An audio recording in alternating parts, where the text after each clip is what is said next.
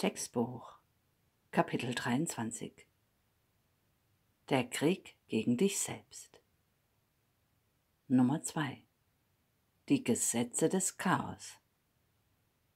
Teil 1 Seite 490 bis 493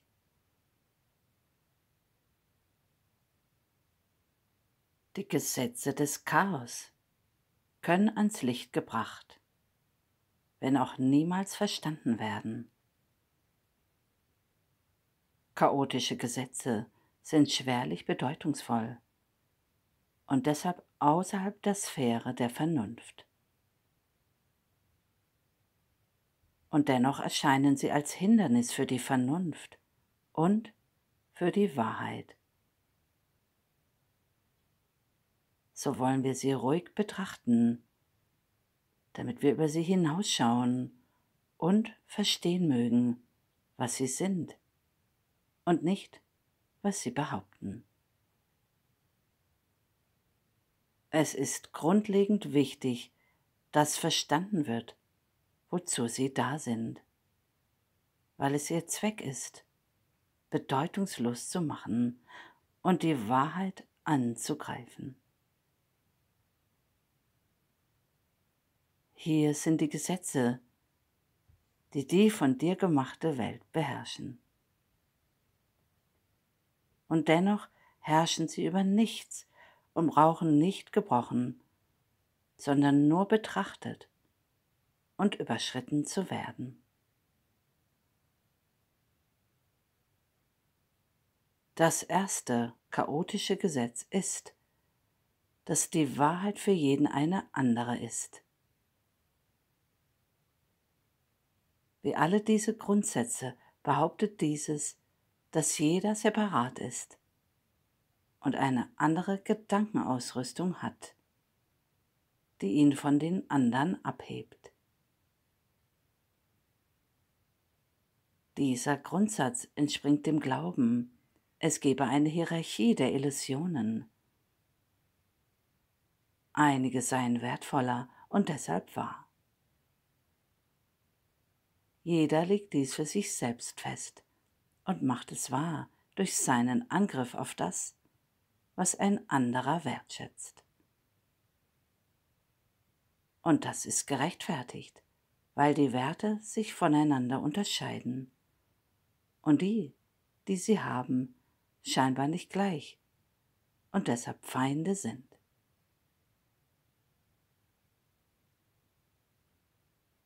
Bedenke nur, wie dies den ersten Grundsatz der Wunder zu beeinträchtigen scheint. Denn es legt gerade der Wahrheit innerhalb von Illusionen fest und lässt es so erscheinen, als seien einige von ihnen schwerer als andere zu überwinden. Wenn nur eingesehen würde, dass sie alle gleich sind und gleichermaßen unwahr, wäre es leicht zu verstehen, dass Wunder für sie alle gelten. Irrtümer jeder Art können berichtigt werden, weil sie unwahr sind. Werden sie der Wahrheit statt einander überbracht, so verschwinden sie einfach. Kein Teil von nichts kann der Wahrheit gegenüber widerstandsfähiger sein als ein anderer.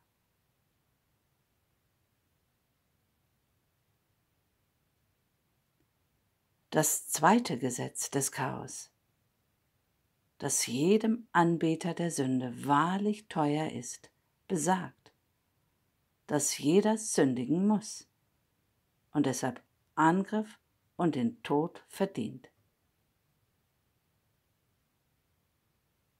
Dieser Grundsatz, der mit dem ersten eng verwandt ist, ist die Forderung, dass Irrtümer nach Strafe und nicht nach Berichtigung verlangen. Denn die Zerstörung dessen, der den Irrtum begeht, stellt ihn jenseits der Berichtigung und der Vergebung. So wird, was er getan hat, als unwiderrufliches Urteil über ihn gedeutet,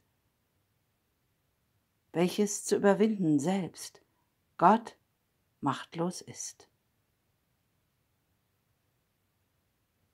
Die Sünde kann nicht erlassen werden, da sie die Überzeugung ist, der Gottes Sohn könne Fehler machen, um deren Willen seine eigene Zerstörung unvermeidlich wird.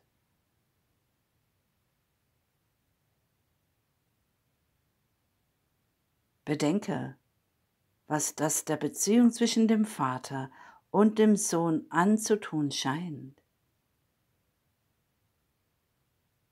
Jetzt sieht es aus, als würden sie nie wieder eins sein können. Denn einer muss stets verurteilt werden, und zwar durch den anderen. Jetzt sind sie verschieden und sind Feinde. Ihre Beziehung ist die von Gegnern, genauso wie getrennte Aspekte des Sohnes einander nur begegnen, um in Konflikt zu treten, nicht aber um sich zu verbinden. Einer wird schwach, der andere stark durch dessen Niederlage. Und nun erscheint die Angst vor Gott und voreinander ganz vernünftig, da das, was der Sohn Gottes sich und seinem Schöpfer antat, ihr Wirklichkeit verliehen hat.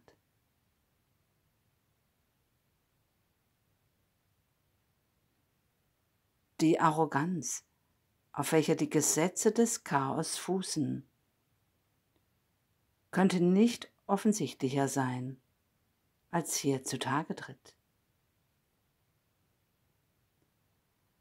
Hier ist ein Grundsatz, der definiert, was der Schöpfer der Wirklichkeit zu sein hat, was er zu denken und zu glauben hat. Und wie er reagieren muss da er daran glaubt. Es wird noch nicht einmal als nötig angesehen, dass er über die Wahrheit dessen befragt wird, was als sein Glaube festgelegt wurde. Sein Sohn kann es ihm sagen, und er hat nur die Wahl, ihm zu glauben oder sich zu irren. Das führt direkt zur dritten grotesken Überzeugung, die das Chaos zu verewigen scheint. Denn wenn Gott sich nicht irren kann, muss er den Glauben seines Sohnes darüber, was er ist, akzeptieren und ihn dafür hassen.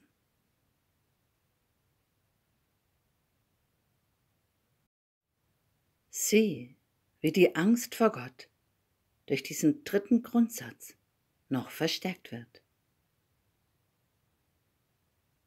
Jetzt wird es unmöglich, ihn im Elend um Hilfe anzurufen. Denn jetzt ist er zum Feind geworden der es verursacht hat und den anzurufen nutzlos ist. Auch kann Erlösung nicht im Sohne liegen, dessen Aspekte scheinbar alle gegen ihn im Krieg sind und zu Recht angreifen. Nun wird Konflikt unvermeidlich und ist jenseits von Gottes Hilfe. Denn nun muss die Erlösung unmöglich bleiben, weil der Erlöser zum Feind geworden ist.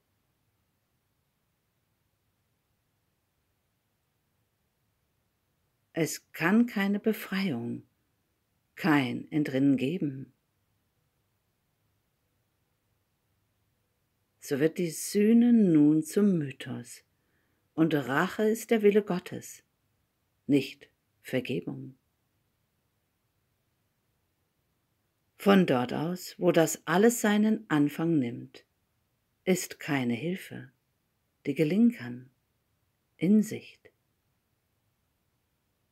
Das Ergebnis kann nur Zerstörung sein. Und Gott selbst scheint dafür einzutreten, um über seinen Sohn zu siegen. Glaube nur nicht, dass das Ego es dir möglich machen wird, ein Entrinnen aus dem, was es will, zu finden. Das ist die Funktion dieses Kurses, der dem, was dem Ego lieb und teuer ist, keinen Wert beimisst.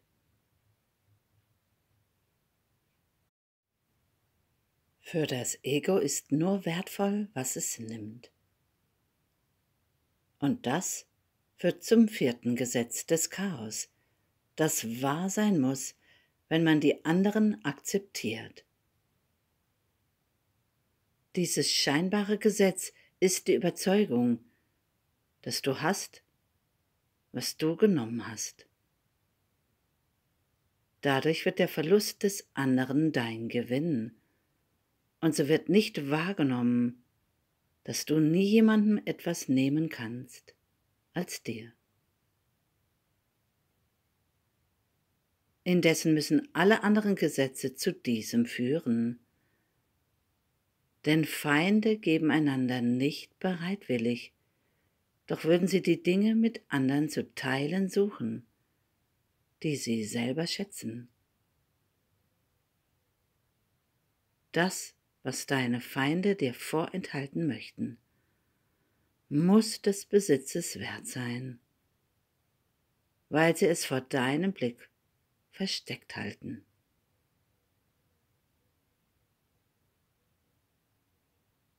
Hier sieht man alle Mechanismen der Verrücktheit zutage treten. Der Feind, der dadurch stark gemacht wird, dass er das wertvolle Erbe, welches dein sein sollte, versteckt hält. Dein gerechtfertigter Standpunkt und Angriff wegen dem, was vorenthalten worden ist. Und der unvermeidliche Verlust, den der Feind erleiden muss, damit du gerettet wirst. Auf diese Art beteuern die Schuldigen ihre Unschuld. Wären sie durch das skrupellose Verhalten des Feindes nicht zu diesem gemeinen Angriff gezwungen worden, würden sie nur mit Güte reagieren. Indessen können Gütige in einer brutalen Welt nicht überleben Deshalb müssen sie nehmen, sonst wird ihnen genommen. Jetzt stellt sich eine unbestimmte, unbeantwortete, bisher noch nicht geklärte Frage. Was ist dieses kostbare Ding, die unschätzbare Perle, dieser versteckte geheime Schatz? der in rechtschaffenem Zorn diesem äußerst verräterischen, listigen Feind entrissen werden muss? Es muss das sein, was du haben willst, doch nie gefunden hast. Und jetzt verstehst du, aus welchem Grunde du es nicht gefunden hast. Es ist dir nämlich von diesem Feind genommen und dort versteckt worden, wo du nicht daran denken würdest, nachzusehen. In seinem Körper hat er es versteckt. den er dadurch zum Deckmantel seiner Schuld gemacht hat, zum Versteck dessen, was dir gehört. Jetzt muss sein Körper zerstört und geopfert werden, damit du haben kannst, was dir gehört. Sein Verrat erfordert seinen Tod, damit du leben mögest. Und du greifst nur in Selbstverteidigung an.